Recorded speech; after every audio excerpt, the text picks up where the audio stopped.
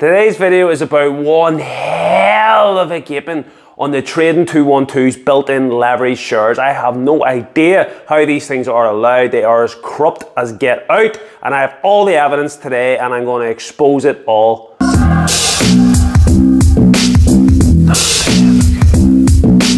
What is the crack, everyone? Welcome back to Hold Sell. The only positive I'm going to take from the BS that you're getting on the Trading 212's leverage is I can at least make a video out of it. On my channel, I always talk about you're better going with ETFs to have the built-in leverage, and I still stand by that, but these built-in ones that are on Trading 212 are disgusting. I've always had issues with these leverage trades. I've always said the spreads are horrible, they don't quite add up, you never quite work out, but today really, royal and truly took the so the first reason you should never buy these things is because they don't trade within the normal hours. So they trade in UK or European times. They start at 8 a.m. and close at half four. When the USA market, for example, doesn't start till half two till nine. So you will always have this lag, this excuse for these fund managers to be able to go, oh, well, just make us up as we go along. So things you need to consider that are factored into the price. The exchange rate will change. That's factored into the price.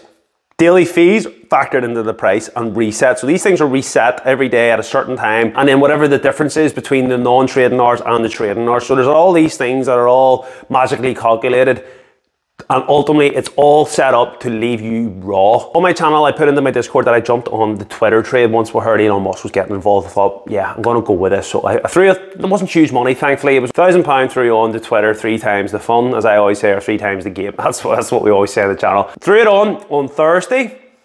We read it up lovely jubbly, and then it just tanked really, really hard, um, and especially after half four when the markets closed. Okay, so that was Thursday with the Easter holidays. Yesterday, the USA market was open.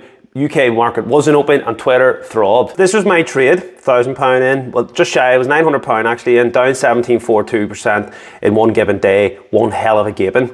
So this was how it closed on Thursday before the holiday. That's how it closed, 17.42%. And another thing I'll add is, if you look at the time, that was 5 past 8. It was 25 past 8 before this thing updated. 25 minutes into the trading before the guy in the garage is working out how can I rob these guys? I will do this. 25 minutes it took him to do all that crap in the background and then send it out. Yep. So if we go to the Twitter chart then and we look at half four on Thursday, can't quite get it, so we'll even go with 4 o'clock. We scroll this right up to the top, we are up 7.6%. But let me ask Alexa for this because I'm clearly not capable of working out this here because it doesn't tie up. Alexa, what's 7.5 times 3?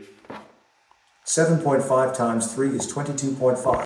22.5. Let's say takeaway fees, let's say 20% gain is the difference between half four on Thursday till the next trading day. So 20%.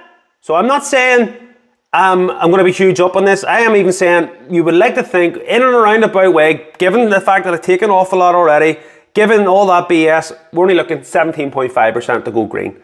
Minimum, I should have been open. I should have had my 158 pound back. Let's see how it went. Right, calculating the price, all the BS. Guy in the garage making them up. Meanwhile, also jumped on this. Never, and again, never. I only did this because it was just to get it on my portfolios. I didn't care about a market price, but never, ever buy anything at market price, especially these gapers, because every time it will buy you at a price that it's never hit. I swear to God, it never works out well. It's always bing, boom, 15%, 15% down. The thing's only up 15%. So what the happened here? Don't know. Anyway, Gabe, look, check the time, quarter past eight. This thing opened up 16.7%. The thing's up supposedly 11%. We've worked it out, it should be minimum probably 20, but we'll even take 17. The thing opened up at shy of 11%. Half of where it probably should have been. And here, my price has only changed by 1%. I am up four pounds. Okay?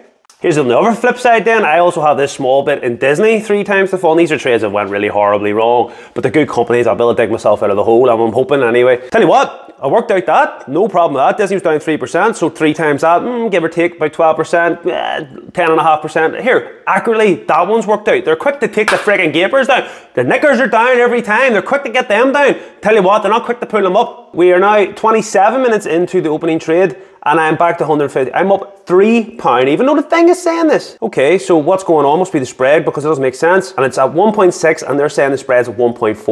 0.2. One hell of a gaping. What that means is they're waiting for nine o'clock. They're waiting for the pre-markets to open because they don't want to give you the money. They're going, no, we'll just we'll just rob them with the spread. So pretty much no change. The thing should be up 20%, no change. I'm sitting there with my in my hand at the mercy of these guys going, or you know, what's going to happen? Pre-market opened, slightly up on the day, boom, it changes. So five past nine, five minutes after the fact, it changes. Still top line percentage hasn't changed, but the spread. Obviously, these guys go well. Like we can't rob them that much. We'll give them a wee bit back. Still one hell of a gaping. Still one hell of a gaping. Fraudulent robbing. That's why I wanted to bring this video to you. One reason you shouldn't do it is because of the time differences. It leaves you just gaped. All the built-in fees, you've no idea of how to use charts or anything because it's just, it, you know way of tying it up. That is the first thing that they do, they gape you. Two, they will hold back in the differences between the times when, when you're losing money they'll quickly they'll, give it to you. It'll all calculate correctly. Don't worry about that. If you want to lose money, it'll be bang on the money.